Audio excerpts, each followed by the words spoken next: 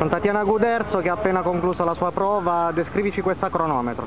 Ma una crono entusiasmante, spettacolare, molto tecnica, insomma da pelle d'oca, ecco la parola giusta, per, eh, sia per chi la fa eh, sia, per, sia per quelli che, che la vedono, perché le strade sono belle, molto tecniche, dunque si vede proprio oltre che la forza fisica di un atleta, anche la sua abilità, la sua lucidità.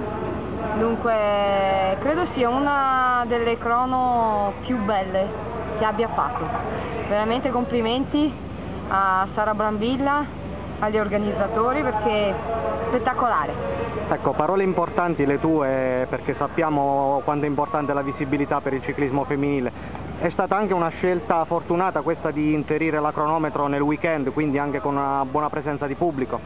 Ma sicuramente sì, poi essendo a Roma voglio dire c'è sicuramente, sicuramente il pubblico è presente e durante la strada soprattutto negli ultimi chilometri molte persone mi incitavano indipendentemente che sapessero o non sapessero il nome, dunque veramente calorosi come persone, come pubblico. Ecco, quest'anno un percorso di giro donne meno duro rispetto alle ultime edizioni, da domani si comincia a salire, cosa possiamo aspettarci?